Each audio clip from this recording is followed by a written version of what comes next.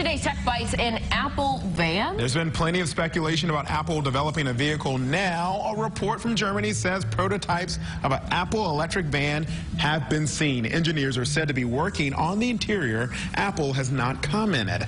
Consumer Reports has removed its recommended rating for Tesla's lower price Model 3. The change came after reported body hardware and other problems. The move comes a week after the magazine named the Model 3 the most satisfying car based on an owner survey.